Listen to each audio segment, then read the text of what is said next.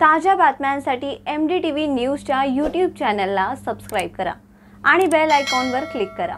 राज्यशास्त्र कनिष्ठ महाविद्यालय संघटना महाराष्ट्र राज्य यांच्या वतीनं नंदुरबार जिल्हा निवासी जिल्हाधिकारी सुधीर खांदे यांना राज्यशास्त्र संघटना नंदुरबार शिक्षकांच्या वतीनं मागण्यांचं निवेदन देण्यात आलंय. विविध प्रमुख मागण्यांचा त्यात समावेश होता. त्या मागण्या अशा आहेत. पहिली इयत्ता अकरावी ते बारावीच्या प्रचलित अभ्यासक्रमात बदल करून त्यात भारतीय संविधानाची ओळख करून देणारा अभ्यासक्रमाचा समावेश करावा. दुसरी जुनी पेन्शन योजना लागू करावी.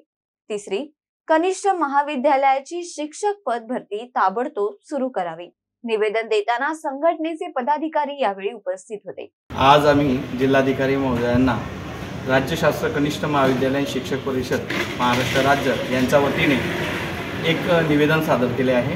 राज्यशास्त्र विषयामध्ये संविधानाची संविधान अभ्यासक्रमाची गरज फार महत्त्वाची आहे.